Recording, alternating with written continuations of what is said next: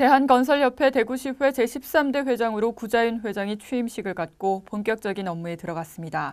구 회장은 앞으로 3년간 건설 경영 환경 개선에 앞장서게 됩니다.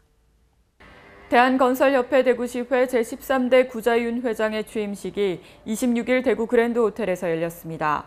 구 회장은 지난달 22일 개최된 제32회 정기총회에서 제13대 회장으로 선출됐으며 이날부터 2015년 6월 25일까지 3년간 대구 건설협회를 이끌게 됩니다.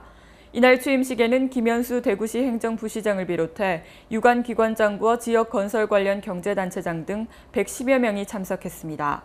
구 회장은 취임사에서 건설협회 대구시 회장 취임은 개인적으로 큰 영광이지만 어려운 시기에 중책을 맡게 돼 무거운 책임감을 갖는다며 참여하는 협회, 변화하는 협회를 통해 어려운 시기에 회원들의 애로사항을 해소하고 일감 확대와 적정 공사비 확보 등을 통한 회원사 경영 환경 개선에 매진하겠다고 말했습니다.